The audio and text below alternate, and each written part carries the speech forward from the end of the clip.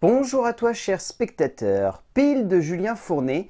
Je dois avouer que c'est un film qui m'intriguait pas mal, parce que c'est un studio que j'aime bien, qui offre ce long métrage. C'est le même studio qui avait offert Les As de la Jungle et Terra Willy. Et du coup, j'avais vraiment envie de voir ce qu'il pouvait offrir avec un petit contexte comme ça, une espèce de monde médiéval, une petite cité, et ce petit personnage qui semblait assez attachant. Donc, même si je savais pertinemment que j'allais voir un film qui allait avant tout chercher à conquérir les plus jeunes, euh, j'ai toujours ce grand gamin qui est en moi qui me disait ah, peut-être que tu vas aimer ce petit plaisir. Le résumé pour faire simple, Pile est une jeune fille orpheline qui habite dans les rues de Rocambrume et qui vit littéralement au jour le jour. Mais lorsque le régent Tristan empoisonne le futur roi, Roland, elle va malgré elle se retrouver à devoir l'aider. J'aime ce genre de film. C'est pas des films devant lesquels je sais je suis le public visé. Mais c'est des films devant lesquels je régresse assez facilement et devant lesquels je me laisse assez facilement embarquer lorsque c'est bien foutu et surtout que l'animation et l'histoire sont assez entraînantes pour donner simplement lieu à une petite aventure dans laquelle on, laisse notre esprit spectateur se balader. Et je trouve que Pile est exactement dans cette idée-là. C'est un film qui est très simple dans sa composition. C'est un film qui est mignon comme tout, qui est très classique par pas mal d'aspects, mais qui pourtant est extrêmement attachant. J'ai vraiment été complètement embarqué par cette petite histoire et même si j'y vois des grosses facilités et, des instants où je sais pertinemment dans quelle direction va l'histoire et du coup je sais assez facilement deviner quels vont être les retournements, etc. Ben derrière, je trouve ça entraînant. Je trouve ça fun. Je trouve ça simple, je trouve ça efficace et, et ça me suffit. Ça me suffit vraiment parce que je me dis que cette aventure, elle fonctionne bien, elle a une histoire prenante, elle a des retournements qui sont pas trop préconçus, pas trop faciles, pas trop clichés. Elle a un personnage principal extrêmement prenant et qu'on n'a pas envie de lâcher. Et je trouve que tous ces petits points font que cette histoire fonctionne vraiment bien. Certes, encore une fois, je sais qu'en tant qu'adulte, je ne suis pas le public visé, mais pour autant, je trouve que le film arrive à faire régresser dans le bon sens le spectateur pour lui faire admirer et passionner et adorer cette petite histoire. Les films d'animation français ou francophones plus généralement sont particulièrement créatifs, et lorsque l'on voit ce que ces nombreux auteurs sont capables d'offrir au fil de nombreux films créatifs et assez jubilatoires dans leur genre, il faut bien avouer que l'on aime bien cela, et en tout cas, moi j'en suis très friand. Julien Fournet nous offre ici une épopée particulièrement entraînante, à la forme et au fond assez simple, consistant en une quête intime et personnelle assez rudimentaire de la part d'une jeune fille se cherchant et comprenant sa place au sein de sa grande ville, et même si l'on pourra toujours dire que l'œuvre n'est peut-être pas aussi créative et inventive par sa narration, la forme que prend le récit est tout de même extrêmement prenante et cool. En termes d'écriture, Julien Fournet a écrit l'histoire seule. Euh, l'histoire, en fait, a une base très simple et assez sommaire. C'est pas forcément ça la grande force de cette écriture. On sent que Fournet, il a voulu faire en sorte que ce récit soit facilement approchable, que les jeunes spectateurs, n'aient pas forcément à avoir un gros background ou à avoir déjà une bonne connaissance de comment une histoire se construit. On sent que le but, c'est simplement de créer pile, de la mettre en place, de la mettre en situation, d'en faire une héroïne tantôt un peu décalée, tantôt déterminée, mais toujours avec une ligne droite à suivre. Et derrière, on va y greffer plein de protagonistes secondaires qui sont plutôt bien sentis. Et je dois avouer que c'est par le biais de la composition de ces personnages secondaires qu'on ressent un vrai attachement à cette histoire et qu'on se laisse vraiment prendre par toute cette petite aventure.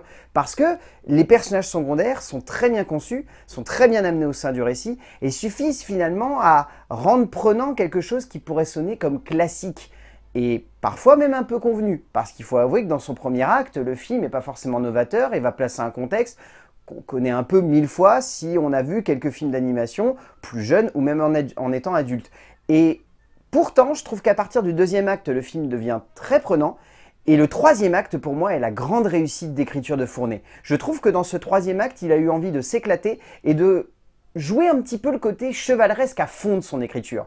Et du coup, le dernier acte, c'est une immense prise de siège qui va être complètement romanesque et rocambolesque et qui va totalement nous prendre aux tripes. Et oui, c'est très convenu et c'est très simple, mais je trouve qu'il y a, je ne sais pas si c'était une de ses références, mais honnêtement, il y a un côté Beowulf dans cette scène de siège de fin. Pas non plus dans le sens euh, trop mature, mais plus dans le sens un peu parodique. Et je trouve que cette idée-là très simple fonctionne pour moi très bien parce que ça suffit à rendre épique un truc qui aurait pu être très sommaire. Et ces petites idées-là d'écriture, c'est ce qui fait la force de la composition de Fournet parce qu'il ne se contente pas simplement d'emmener son personnage dans une direction balisée. Fournet se concentre surtout sur une envie de vouloir simplement nous entraîner dans cette petite aventure, n'abusant jamais d'effets dramatiques qui pourraient sonner comme un peu trop surfaits, mais cherchant avant tout à jouer avec la simplicité de sa dramaturgie pour donner lieu à une narration efficace et directe. Concrètement, on sent que l'auteur français a souhaité avant tout faire en sorte que l'on s'attache à ces personnages, que l'on comprenne facilement leurs motivations et leurs passions, et que l'on se laisse emporter par une aventure rudimentaire certes, mais qui se tient tout de même extrêmement bien de bout en bout, et franchement, c'est cela que l'on veut retenir de cet ensemble efficace et juste. En termes de mise en scène, si vous avez vu Les As de la Jungle et Terra c'est exactement le même type de graphisme et de texture sur la 3D. Il n'y a pas forcément beaucoup d'innovation qui a été fait par rapport à ça. Ce que je trouve intéressant, c'est que ce studio d'animation, il a la très grande idée de laisser beaucoup de place aux metteurs en scène. Et je l'avais déjà dit sur Les As de la Jungle et je l'avais déjà dit sur Terra Willy, je trouve que ce qui est fort avec ces films d'animation, c'est que les metteurs en scène aux commandes s'emparent vraiment de ce qui est à leur portée et du coup livre une mise en scène qui est vraiment épique pour le coup.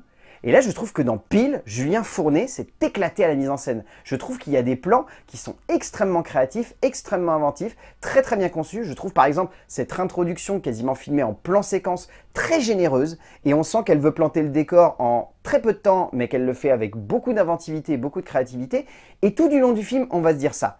Il y a des plans qui sont très très bien conçus. Je pense au tout premier plan où on va voir la ville de Rocambrume. C'est un plan qui fait très Assassin's Creed finalement dans son côté. On va tourner autour du personnage pour finalement voir tout le décor et ensuite le titre s'affiche. Ça a un côté synchronisation d'Assassin's Creed. Et à côté de ça, il y a plein de scènes qui sont extrêmement bien foutues et qui sont très épiques. Je dois avouer que je me suis vraiment laissé embarquer par une vraie générosité de mise en scène de la part du cinéaste qui fait qu'on est pris là-dedans. Et oui, encore une fois, il n'y a pas d'innovation en termes de graphisme et en termes de 3D, mais cette 3D, elle est efficace et elle se suffit à elle-même. Et je trouve que Fournet, il n'a pas besoin d'en rajouter plus que ça là-dessus.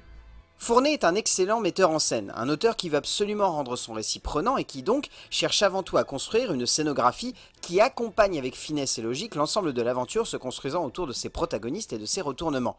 On sent par exemple qu'il sait comment mettre en scène les séquences d'action, qu'il sait comment donner lieu à un tout rythmé et intense qui fonctionne parfaitement de bout en bout, donnant lieu à un instant de cinéma qui nous prend au trip et qui résonne surtout comme une promesse d'animation se tenant jusqu'à la fin. Et franchement, dans son genre, c'est un film purement et simplement efficace. En termes de doublage, je crois que j'ai adoré les trois quarts des doubleurs de ce film. Euh, je trouve que Paul Borne dans le rôle de Crowbar est juste hyper attachant.